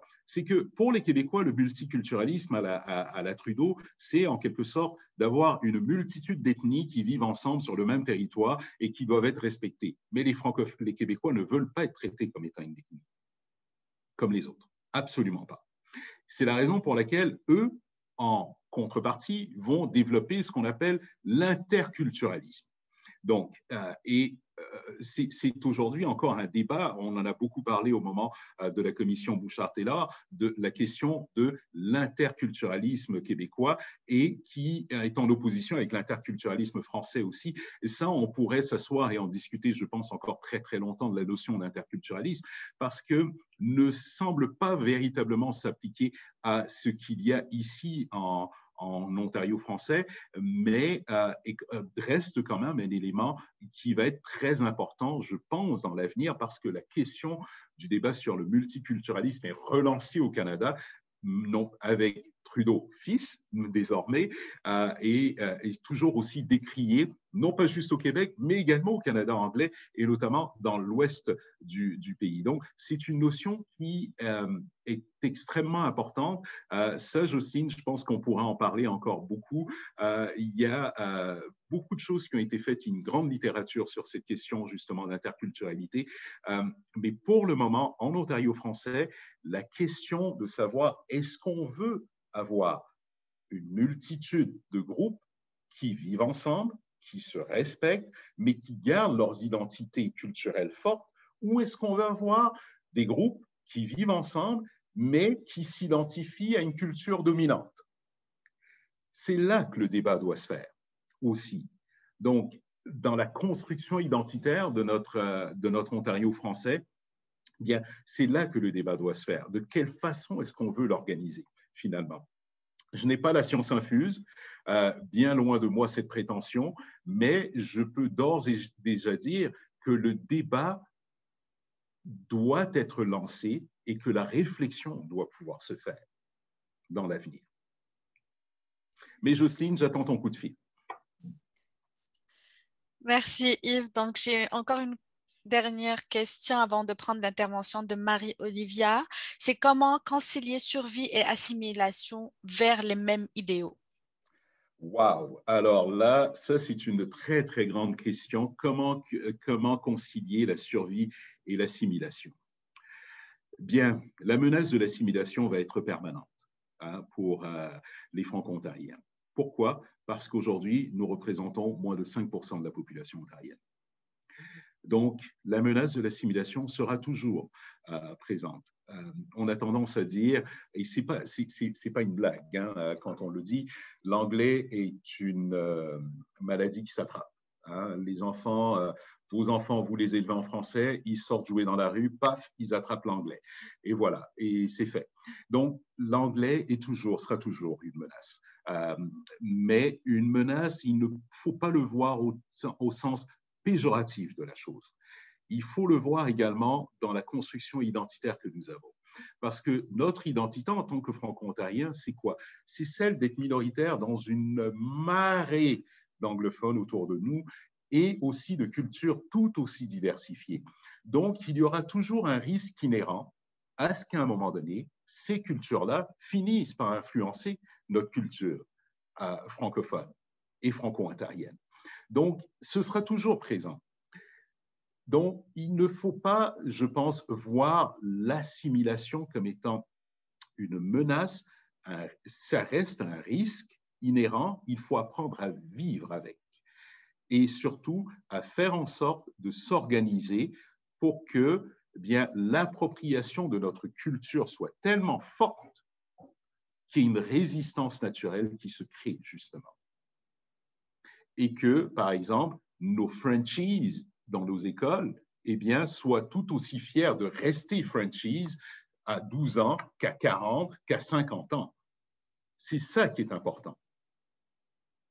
S'identifier aujourd'hui comme franchise, quand je vois mes garçons sortir, courir chez le, chez le voisin qui parle français, avec un accent différent, certes, mais ils sont tous heureux et ils jouent en français ensemble dans la même rue avec des petits copains qui parlent anglais, mais qui finissent par parler français, parce que contrairement aux adultes, les enfants ont un autre réflexe. Quand il y a une majorité d'entre eux qui parlent une langue, bien finalement, les autres vont suivre. Eh bien, nous, nous faisons toujours l'inverse. Quand on s'assoit dans une réunion, on est 15 francophones, il y a un anglophone qui arrive, et là, ça y est, on passe tous à la langue de Shakespeare, comme par miracle. Alors, notre appropriation culturelle, c'est à nous de mesurer jusqu'où est-ce qu'elle va. Est-ce qu'elle se limite à tout le temps être en train de changer de langue pour faire plaisir justement et pour ne pas déranger? Ou est-ce qu'on va être assez fort aujourd'hui pour comprendre que notre culture aujourd'hui est assez forte pour être en mesure justement de faire comprendre aux autres que c'est un avantage pour eux de se joindre à nous? C'est là qu'il va y avoir un défi en ce qui nous concerne. C'est là que nous avons un travail à faire ensemble au niveau de notre survie en tant que francophone. J'espère avoir répondu à ces questions qui, ma foi, étaient très intéressantes. Merci Yves. Marie-Olivia, alors, bonjour et merci à M. Meuloko d'avoir en tout cas fait cette présentation et j'ose espérer que d'autres vont suivre et bienvenue à Orléans. Je suis orléanaise aussi et j'espère qu'on va pouvoir se rencontrer parce qu'il y a une très belle communauté qui est bien mobilisée à Orléans, en tout cas francophone. Donc, ma question est effectivement de savoir, parce que moi je travaille dans une école francophone puis, vous entendez les élèves, vous vous croirez dans une école anglophone. Et mhm. je vois les efforts qui sont faits lors de la journée du 24 mars, la journée de la francophonie. Nos élèves ne sont pas au parfum de cette francophonie-là, encore moins leurs parents.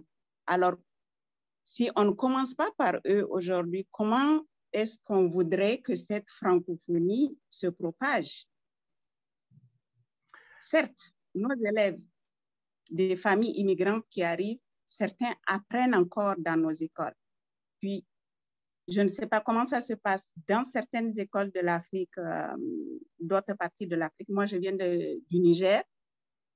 Donc, je suis bien placée. Je travaillais avec Audrey en passant. On a fait de très belles choses à Thunder pour la francophonie et on en est fiers. Donc, je vois comment ça se passe, mais les gens ne sont pas informés j'ai approché ma députée provinciale quand le, euh, le Canada a intégré la francophonie. Mais personne ne connaissait déjà, euh, comment on appelle ça, euh, comment est-ce que la francophonie est partie? Mm-hmm. Oui, et vous, vous, mettez le doigt sur, je pense, le problème qui est souvent évoqué. Qu'est-ce qu'on fait dans nos, dans nos écoles? Mhm. comment est-ce qu'on va faire en sorte d'avoir une construction identitaire? De nos, de nos jeunes francophones. Mhm. Ce qui est important, c'est que la question de la création de l'identité culturelle, euh, il faut se poser la question, est-ce que ça doit être le combat des enfants? Est-ce que ça doit être le combat des enfants? Est-ce que ce n'est pas le combat des adultes? Est-ce que ce n'est pas le rôle des adultes plutôt que celui des enfants? Là-dessus, je veux, je, veux, je veux vous amener à avoir une réflexion. L'enfant, lui, a bien d'autres préoccupations que la question linguistique. Pour lui, c'est un outil, c'est un outil de communication. Il ne le voit pas encore comme étant un vecteur culturel. Il ne le voit pas comme étant un véhicule de sa culture. Il le voit, on a tendance à les forcer et à réagir vivement avec eux. Et moi, le premier, tu vas écouter la télévision en français. Tu vas, non, il n'y a pas de télévision en anglais chez moi, etc., etc. Bien, vous savez, là-dessus, je, je, reviens encore à mes enfants. J'ai fait le choix de les envoyer à l'école française. Pourquoi? Parce que pour moi, en tant que francophone, il était inconcevable que je les envoie à l'école anglaise. Et je vais vous dire, la raison est très simple. Je n'avais absolument pas envie d'avoir à traduire mes émotions en anglais quand j'avais à les exprimer à mes enfants.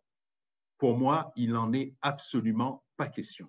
Mes émotions, je les vis en français, comme je pense la plupart d'entre vous, même si certains vont se dire bilingues, mais je vous garantis que vos émotions, quand vous êtes énervé, c'est le français qui sort. Et moi, je n'avais absolument pas envie de traduire ce genre d'émotion-là à mes enfants. Raison pour laquelle le choix pour moi était évident, tu vas aller à l'école française et point final. Mais maintenant, est-ce que c'est sa responsabilité à lui, 5 ans, 8 ans, d'avoir cette réflexion sur la langue française comme véhicule finalement de sa culture? Non, ce n'est pas sa responsabilité. Sa responsabilité, il va comprendre ça plus tard. Mais pour le moment, ce n'est pas sa responsabilité. Pour le moment, tout ce qu'il doit comprendre, c'est le français, c'est la langue d'expression des parents, puis de mon environnement, puis de ma communauté. Et ça définit un peu ce que je suis, parce que, ben oui, je parle français. Mais il peut aussi bien parler anglais aussi, l'enfant. Il ne faut pas les empêcher nécessairement, parce que les brider serait la pire des choses. Vous savez que les enfants, plus vous, les, plus vous leur interdisez, plus ils ont tendance à vouloir le faire. Hein? On fait l'expérience de cacher quelque chose dans une armoire et de dire à un enfant de 5 ans, faites-le en tout cas avec mon fils, vous lui dites quatre fois, tu n'as pas le droit d'ouvrir cette armoire-là et tu sors de la pièce, c'est sûr qu'il va aller voir ce qu'il y a dedans. Et donc ça, c'est le danger justement avec les enfants. C'est quand on essaye de trop les brider, bien finalement, ça va devenir tellement attractif qu'ils vont finir par se l'approprier. Donc, ce danger-là, il faut être très vigilant et très diligent dans la façon dont on approche les choses avec les enfants. Mais dans nos écoles, aujourd'hui, nous avons un devoir de création justement de cette identité culturelle. On a un devoir d'éducation. Tout à l'heure, on nous disait, il y avait une question qui disait, je pense que c'était Audrey qui le disait, eh bien, combien de personnes dit, elle l'a bien dit, j'ai bien aimé, dit euh, de, de souche elle a bien précisé qu'elle n'aimait pas le terme, et moi non plus, en passant, je ne l'aime pas du tout. Euh, bien, combien de personnes ne connaissent pas nécessairement leur histoire, ne connaissent pas nécessairement leur réalité? Mais parce qu'à l'école, qu'est-ce qu'on a fait? À l'école, qu'est-ce qu'on a fait? Est-ce que nous avons, euh, dans le curriculum d'enseignement, par exemple, est-ce que nous avons bien ces spécificités culturelles à enseigner? On a certes des initiatives justement en ce sens dans les écoles et dans les différents conseils scolaires, d'avoir justement d'une euh, une appropriation culturelle, euh, une éducation justement sur la culture francophone et sur la construction identitaire. Est-ce que c'est assez aujourd'hui ce qu'on a fait? Et est-ce qu'on a déterminé le, niveau idoine où justement faire cette construction identitaire? La réflexion doit toujours être là et elle doit continuer à se faire. Parce que, à mon avis, ce n'est pas au primaire qu'il faut embêter les enfants avec ça, mais certes au secondaire, sans aucun doute. Parce que c'est à ce moment-là que l'appropriation culturelle doit se faire, à mon avis. Merci beaucoup Yves. Merci à tous pour votre participation. Euh, je suis désolée si on a omis la question de, l'un de vous. Euh, on a largement dépassé le temps de notre formation aujourd'hui. Mais euh, je, tiens vraiment à remercier euh, toutes les personnes qui ont participé, surtout euh, Constance qui a mis vraiment beaucoup de commentaires euh, sur le chat. Donc, je vais juste maintenant vous mettre un petit lien pour un sondage de rétroaction, s'il vous plaît. Ça, c'est important pour nous. nous. Nous voulons vous entendre. Juste dites-nous ce que vous en pensez pour la formation. Je fais également euh, mettre à l'écran rapidement un code QR si c'est plus facile pour vous de scanner juste le code et répondre via votre téléphone. Et j'aimerais avoir une, suite. Quand est-ce qu'on pourra avoir l'épisode 2? Euh, on a laissé beaucoup de questions en suspens ici, là. Mais je pense qu'on est un groupe assez intéressé qu'on pourrait poursuivre. Et c'est excellent. Merci. Merci, Jocelyne. Merci, Jocelyne. On prend en considération votre commentaire. Donc, rapidement, il y a trois questions dans le sondage. Euh, les deux premières, ça prendrait juste euh, quelques secondes pour y répondre. Et puis la troisième, c'est une question à développement, donc c'est votre choix, juste une minute. On vous laissera quelques secondes pour répondre aux questions.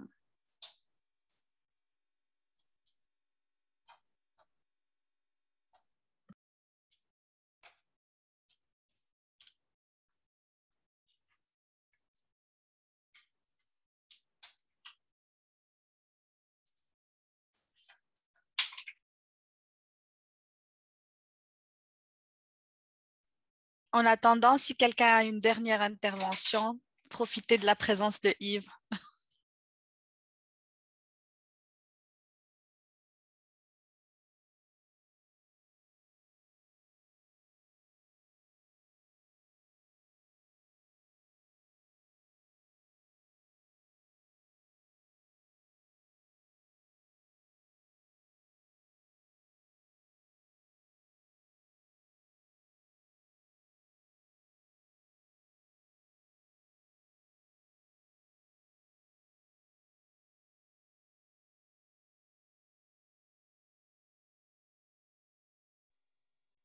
Je peux poser une question?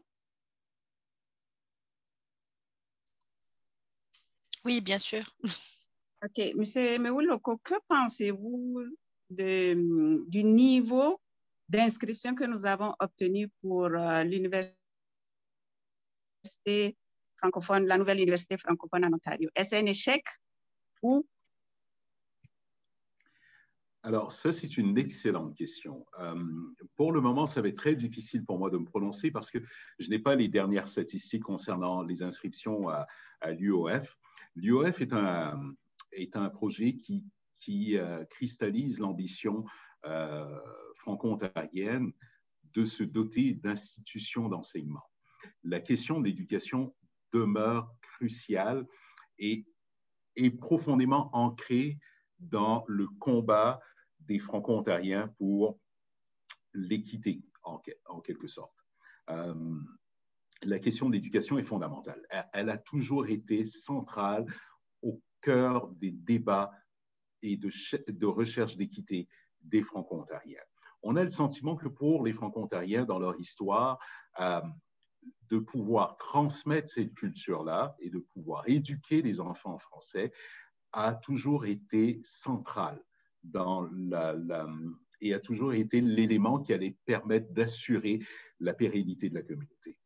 Aujourd'hui, euh, je pense que l'université, bon, elle est créée, elle existe, euh, elle va certainement avoir plus d'inscriptions à partir du moment où son existence sera mieux communiquée et mieux connue et que les programmes également ressembleront plus à ce que la population connaît dans son ensemble. Et je pense qu'à ce niveau-là, il y a un travail qui est en, qui est en train d'être fait auprès de l'Université de l'Ontario français en ce sens. Et euh, je suis à peu près persuadé qu'à la rentrée scolaire, euh, on va voir une université différente. On a un nouveau recteur qui a d'ailleurs été nommé euh, et je pense qu'un un nouveau recteur qui a été nommé, un recteur d'ailleurs qui, soit dit en passant, est l'ancien recteur de l'université de Hearst, euh, donc qui a été nommé et donc qui connaît très bien, il est franco-ontarien, euh, son, il est, il est d'ailleurs le fils d'un grand franco-ontarien qui a milité pour euh, l'instauration des radios euh, communautaires à travers la province. Donc, c'est euh, quand même un grand pas qui a été fait aussi d'avoir une personne qui a une compréhension justement de la réalité franco-ontarienne à ce poste-là. Ça va être important et maintenant, je m'attends à ce que dès l'automne, on voit une université qui va changer et qui va graduellement s'adapter aux besoins de la population. Euh, donc, graduellement, les choses vont, évoluer, à mon sens, positivement en ce qui concerne l'UOF. Merci. Je vous en prie. Merci beaucoup, Yves. Donc, euh, merci à tous pour votre participation. Vous avez encore quelques secondes pour mettre vos suggestions. Ça va nous aider à nous améliorer. Je laisserai la parole à Josiane pour le mot de fin. Merci. Ah, merci, Sneb. Un grand merci à Yves Gérard pour une excellente présentation. Merci à toutes et à tous pour votre participation. À la réflexion sur l'équité dans notre communauté franco-ontarienne continue et puis au plaisir de, de, de, vous croiser autour de cette question, mais aussi d'autres thématiques vraiment d'intérêt communautaire dans notre chère communauté franco-ontarienne. Je vous donne rendez-vous dans deux semaines pour une nouvelle formation. Ce sera à la même heure, mercredi 21 juillet. Je vous souhaite un excellent après-midi. Au revoir. Merci à vous, à bientôt.